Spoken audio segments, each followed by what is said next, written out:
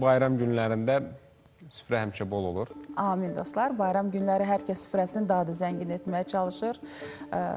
Və Süfrələriniz bol olsun, bəli. Yeməklərlə bağlı hər zaman bayram günlərində işləyən jurnalistlər adətən bu xəbəri gözlər. Səhər saatlarında e, toksikologiyada e, toksikologiya Bəli. Ə, necə gedir bunun adı? Toksikologiya şöbəsi də belə deyək də. Bəli. Məlumat yayır ki, qidadan bu qədər insan zəhərlənib, 10 nəfər zəhərlənib, 7 nəfər zəhərlənib.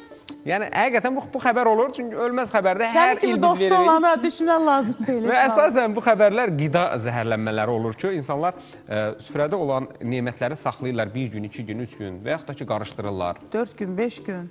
Qalır. O da var, Aş bəli. qalır xüsusilə 5 gün, 6 gün.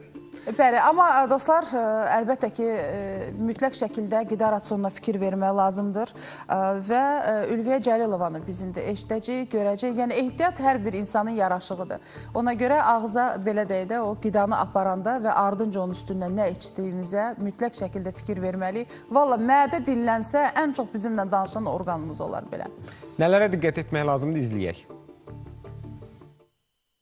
Bayram ərəfəsində ümumiyyətcə qidalanarkən mütəmadi olaraq 2-3 saatdan bir müəyyən qədər qida qəbul etmək lazımdır. E, Bu həm e, orqanizmin tox qalmasına səbəb olur, həm də e, piyələnmənin qarşısını almaq üçün daha yaxşıdır. Süfrələrimiz şəkərbura, paxlava, e, digər şirniyyat növləri ilə zəngin olur. Bunları qəbul edərkən təbii ki, ehtiyatlı olmalıyıq, çünki həm qidaların qarışdırılması zamanı qida allergiyalarına qədər gətirib çıxarda bilər. Yumurtanın boyanması zamanı bəzi kimyəvi məhsullardan istifadə olunur ki, bu da uşaqlar üçün e, xüsusi təhlükə yarada bilər. El arasında belə bir deyim var ki, ba- bayat plov daha dadlıdır, lakin e, düyünün tərkibində olan mikroorqanizm var ki, Bacillus cereus, e, bu özünü qoruyub saxlaya bilər və biz düyünü yenidən qızdırıb istehlak etdiyimiz zaman orqanizm Bacillus cereus e, bakteriyası ilə yoluxa bilər ki, bu da hətta e, gətirib e, qida zəhərlənməsinə qədər çıxara bilər.